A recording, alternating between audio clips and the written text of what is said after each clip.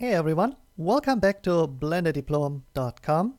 I'm Gottfried Hofmann, and in this 2.8 preview, I will show you the new defaults we will have in Blender, but there's also news on the icon front in the tool shelf. So let's start with the icons. You might notice that the move, rotate and scale icons have been changed again. They are way simpler than before and um, no longer colored, which was a request by the community. And I think this really makes sense. And when I go to edit mode, you might also see that all the other icons are now rendered in orthographic mode, which means they are flat and no longer they don't longer have, no longer have a perspective like they had before, which I also think makes sense. And you might notice that when I hover over the icons, it's no longer that they are slightly desaturated by default and only get fully saturated when I hover over them.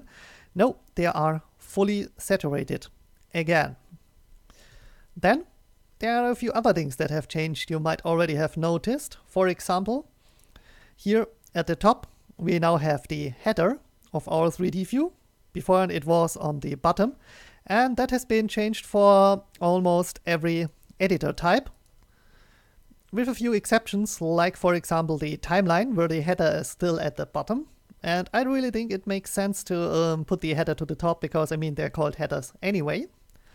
And here on the right, you might notice that uh, it's now by default showing the object properties instead like before the render properties. And here in the object properties, you already see that um, here location is now by default set in meters. Actually, all the units are now metric by default, which although totally makes sense because beforehand we had this um, default Blender units, which in reality just was meters and stuff, but um, with a different abstract units. So it really makes sense that it's now metric by default. And when you look here in the 3D view, the cube looks a little different than um, before.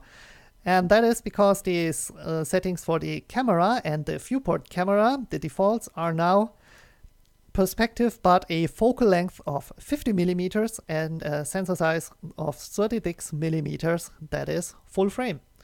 And that are actually really good defaults because especially the focal length of 50 millimeter is way closer to our human vision than the 35 millimeters we had before. Now let me remove this cube and add something else like maybe a UV sphere and open up an image editor here and if I go into edit mode you now see that it got by default a UV layout. This was possible before in Blender already, but you had to click it down in the tool options when you edit a, an object that you wanted uh, UVs. Now, by default, every object you add gets UVs, which is also a pretty nice addition.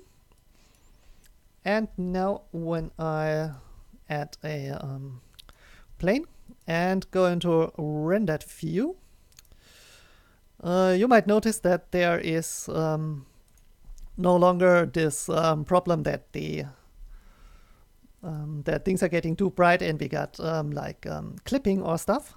And that is because by default, the color management now is, ta-da, filmic. I guess this is also one of those things you will enjoy really much because beforehand, uh, most of you probably switched render engine to cycles and turned on filmic and then started working. You don't need to do this anymore. Filmic is the new default. And by the way, the lamp strength for lamps added in Eevee has also been increased tenfold. So this um, abstract energy type is now 10. But that's not the case when we're switching to cycles. You already notice that the lamp is now less strong by default in cycles than in Eevee, but I guess they will um, make this match soon. And by the way, in case I am rendering, which I won't do now, the default display type is now new window, which means um, it's no longer the image editor, but um, it will create a new window by default. I mean, I really liked it to be um, the um, image editor, but I guess I can get used to it when I start a new scene that it's now new window. So now I'd like to know from you, what do you think about those new defaults? Um, do they all make sense? Or maybe only a few of them make sense? Maybe do you like none of them at all? Let me hear in the comments, please, because I'd really like to hear your input. And as always, do try this at home, which means go to builder.blender.org and grab a 2.8 build. Link is in the description.